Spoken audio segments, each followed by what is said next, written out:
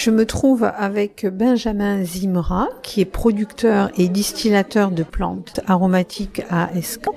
Bonjour Benjamin. Est-ce que vous pouvez vous présenter, s'il vous plaît? Je sais que vous avez une distillerie artisanale à la ferme de Vanadal. Donc vous produisez des huiles essentielles en Quercy. Pouvez-vous nous dire quelle est votre, activité? Donc je suis installé depuis l'année 2015 sur la ferme qu'on a appelée Vanadal en hommage à, à ma grand-mère, hein, dont c'était le nom de la ferme en Provence parce que je suis natif de Provence. Et on s'est installé dans le Lot euh, en 2010 avec ce projet d'élever euh, des chevaux dans un premier temps et de produire des plantes aromatiques pour les transformer en huile essentielle. Projet qu'on a mené à bien seulement en 2015, dès lors que j'ai pu autoconstruire mon propre alambic de 200 litres.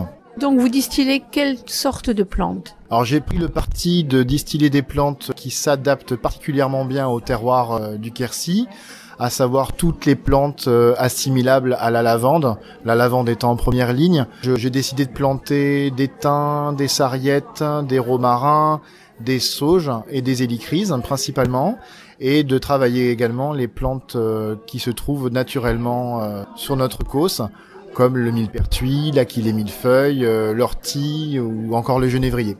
Donc vous obtenez également des hydrolats de plantes. C'est ça. On parle toujours beaucoup des huiles essentielles et pas assez des hydrolats.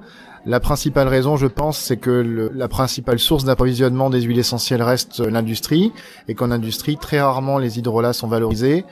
En artisanat, on peut se permettre de valoriser beaucoup mieux les hydrolats puisqu'on s'attache beaucoup plus à la qualité de la, de la plante et de la distillation, ce qui produit des hydrolats de bien meilleure qualité. Pouvez-vous nous dire ce que c'est véritablement un hydrolat? Alors, c'est vrai que pour beaucoup de gens, l'hydrolat ou l'eau orale reste un, produit un petit peu mystérieux. Euh, il faut savoir que pour la distillation, on utilise de la vapeur d'eau. Cette vapeur d'eau, on la fait passer à travers les plantes, c'est elle qui va capter euh, l'huile essentielle. Et pour euh, recréer un produit exploitable, il faut recondenser cette vapeur d'eau afin de séparer l'huile essentielle.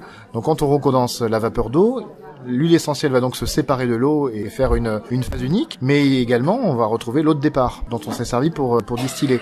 Cette eau de départ, on l'appelle hydrolat parce qu'au passage de la plante, elle se charge d'un peu d'huile dont elle se sépare plus. Donc en gros, c'est l'eau de départ avec un tout petit pourcentage d'huile essentielle. Quelle quantité de plantes par litre?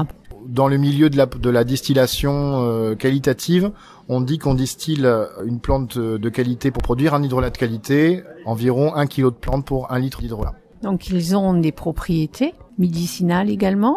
Voilà, et étant donné qu'ils contiennent de l'huile essentielle, ils peuvent avoir grosso modo les mêmes propriétés que l'huile essentielle, à quelque chose près, c'est que certaines molécules présentes dans l'huile essentielle vont aimer être dans l'eau et donc vont s'y trouver beaucoup plus facilement. On va parler donc euh, de la partie huile essentielle hydrosoluble. Voilà, c'est ça. On parle aussi des affinités polaires, on rentre un peu dans des détails techniques, mais Souvent, les gens pensent qu'il suffit de lire un bouquin d'huile essentielle pour connaître la propriété des hydrolats, alors que c'est plus complexe. Certaines molécules présentes dans l'huile essentielle ne sont pas dans l'hydrolat, et inversement.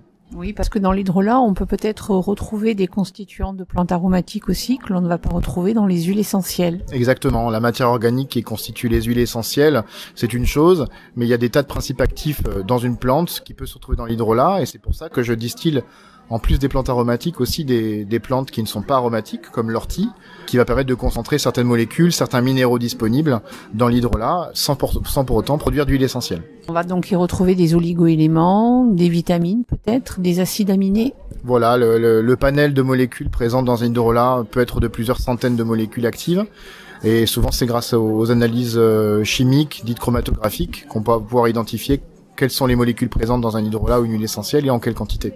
On les utilise comment ces hydrolats de plantes, Benjamin?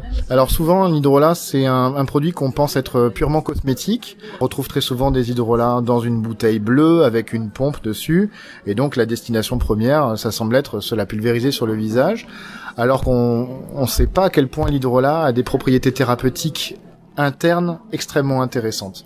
Et donc pour le prouver, j'ai décidé de créer des complexes d'hydrolat que j'ai appelés tisanes concentrées pour orienter les gens sur sa consommation alimentaire plutôt que sa consommation cosmétique.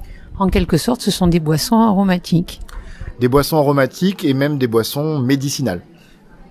Même si le terme aujourd'hui euh, prête à, à beaucoup de, de, débats encore, même au sein de la Commission européenne. Je crois que vous avez, Benjamin, un projet et notamment donc euh, vous souhaitez mettre en place une campagne de financement participatif, donc que l'on appelle euh, Mimosa, pour soutenir un projet d'alambic itinérant c'est un prototype unique alliant le respect des ressources naturelles et l'économie d'énergie.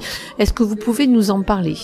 Alors l'autoconstruction mon alambic en 2015 euh, de 200 litres m'a amené à, à, appréhender le métier de distillateur d'une certaine manière et à m'installer dans le territoire euh, comme étant euh, le distillateur référent du sud du Lot. Mais arrivé au bout de quatre ans d'activité, je suis un peu, on va dire, au bout des limites que mon matériel peut proposer, que ce soit en termes de volume ou même en, en termes de qualité.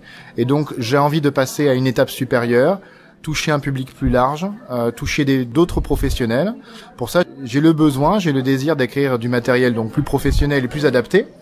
Et donc il m'est venu l'idée de continuer à valoriser les plantes euh, dans leur entièreté et pour ça l'idée c'était de continuer à distiller des plantes les plus fraîches possibles.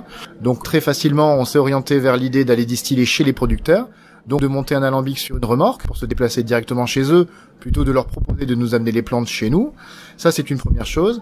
Et pourquoi est-ce que le, prototype d'alambic serait unique? C'est parce qu'on va utiliser, pour générer de la vapeur, un, générateur qui, dont le brûleur tournera avec de l'huile végétale recyclée dans un premier temps. Donc on n'utilisera plus des ressources euh, des ressources fossiles hein, comme le fuel ou, le gaz. Euh, et ensuite, euh, il faut savoir que pour refroidir la vapeur, on utilise de l'eau pour la condenser. Cette eau, dans quasiment toutes les, dans tous les circuits de transformation, c'est de l'eau à perte qui est en circulation euh, et qui est évacuée. Alors que nous, on aimerait créer un système d'eau en circuit fermé qui serait refroidi en permanence grâce à un système euh, peu consommateur en énergie pour ne pas être gaspillé. Donc ce serait au niveau du serpentin qui lui baigne généralement dans une eau froide. C'est ça, l'eau est réchauffée au fur et à mesure de la distillation puisque la vapeur est à 100 degrés. Au fur et à mesure que la distillation avance, la vapeur réchauffe cette eau de condensation. Et donc au bout d'un moment, pour continuer à refroidir la vapeur, il faut renouveler cette eau. Donc souvent, pour renouveler l'eau, on fait circuler de l'eau qui est évacuée, qui est perdue. Là, l'idée, c'est de récupérer cette eau, de la refroidir avec un, dispositif euh, aéro-réfrigérant et de la réinjecter dans le circuit.